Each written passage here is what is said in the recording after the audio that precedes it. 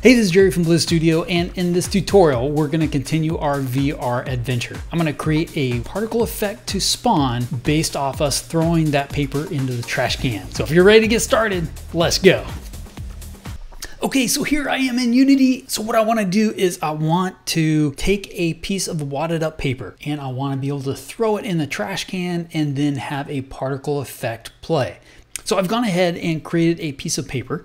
So in this paper ball, I just created a cube with ProBuilder. I subdivided it, then I just deformed the shape so that it has that paper feel. So in this piece of paper, I do need to go ahead and do a little bit of VR setup. So one is we need to add a grab component, XR grab interactable component.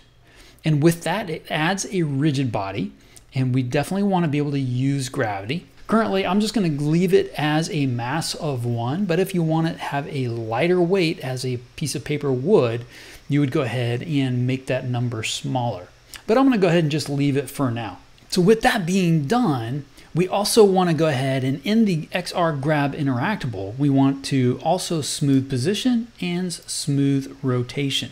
Okay, so now we have our XR Grab Interact component set up. The next thing we need to do is to go both to our left hand and our right hand controller. Now with those controllers, currently, if we were to pick up this object, we would both see the wad of paper and the hand, and they'll be in the same position. So what I'm gonna do instead of having the hand there, I'm just gonna hide the hand and just show the paper. So for us to be able to do that with both our controllers selected, what we can do is we can go to hide controller on select. So this option right here, what we're gonna do is to go ahead and check that. All right, now that we have that done, that's going to allow us to be able to pick the game object up and then hide our hand and just show the paper. The next thing we need to do is to go to our trigger. So I've created a cylinder in ProBuilder to fit on the top of this trash can. Once we hit this, I want to be able to show a particle effect. So currently I have this cylinder with the mesh renderer on, but we don't need to see the mesh renderer because we just want to use the cylinder as a trigger. All I need to do is just to turn off the mesh render and now the player's not going to see it. But we'll still have the mesh collider selected. The other thing I want to make sure is that I've chosen convex and is trigger. So we need to make sure we have trigger selected. Now the other thing I'm going to do here is I want to tag this. So let's go ahead and create a new tag. Let's go ahead and add tag. And I'm going to add a new tag called trash can. Let's go ahead and add that. And then I'm going to go back to my trash can trigger. And then we need to add that tag to that game object. So trash can. Now that we have that set up, we can actually start creating some cool magic. Inside of my trash can, I have a particle system.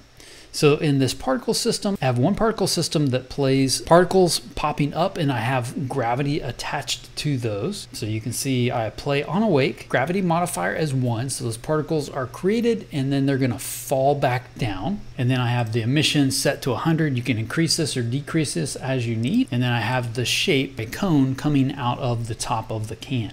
So if I play it, boom, you can see those particles coming up. The other thing that I have on this is a secondary particle system. So inside of this particle system, I have another particle system. So in this particle system, it's a little bit different. I'm using a material that I created, and with that material, it's the number one. So I have a plus one as the material that plays. So if we play this, if we look at what I have set up, instead of emission as being a rate over time, doing a burst mode of one, which is just gonna play one of those number ones and then that's it. So if we look at these together, boom, there we go. We now have that to give us some great feedback for the user. Currently right now, nothing's gonna happen. We need to add some logic to our paper. So in this case, I'm gonna add a new Playmaker FSM. And in this case, we are going to detect trigger. And then what is it we want to do? So we want to detect that can trigger. So we're going to do add an action. And in this case, we're going to do a trigger event. And for us to be able to have a trigger event, one of those game objects have a rigid body, the paper does, on the owner. When that owner has entered a trigger of trash can, then we want to send a new event. So let's go ahead and start particles. So we're gonna add that transition. We're gonna go off to a new state. So I'm just gonna hold down the control key, drag off, let go, and I now have a new state. And now in this new state, let's go ahead and give it a name real quick, and we're gonna call play particles. So there's a couple things that we want to do here. One is we want to turn that particle system on. So if we go back to our particle system real quick, so inside of my trash can, my particle system, we have the option of play on awake. So we initially want this game object to be turned off. So let's go ahead and turn that off. We're going to go back to our Playmaker FSM so all we need to do is just to activate this game object, then it's gonna play that particle system. So all I need to do is just to drag my particle system into my state, and we're gonna do a game object, activate game object, activate, we wanna make sure that's checked, and then when that activates, it's going to play that particle effect. The other thing that we wanna do is to go ahead and destroy this paper ball because we don't want it to be there. We want it to have disappeared into the can.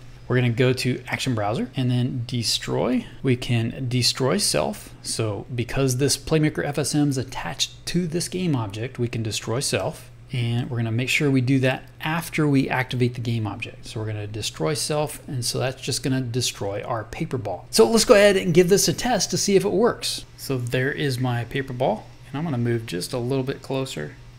There's my paper ball. And I throw it. Boom, there we go. So now we have a cool particle effect when we throw our trash in the trash can. Hey, I hope you enjoyed that tutorial. It's something you can use for your game. Don't forget to hit like, subscribe, and that little bell icon down there so you know when the next tutorial is available. Until next time.